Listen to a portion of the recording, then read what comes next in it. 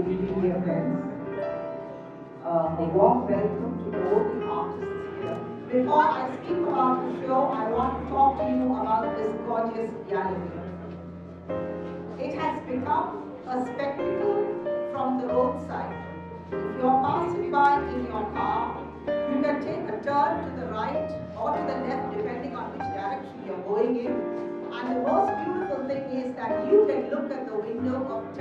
other than the neon sign.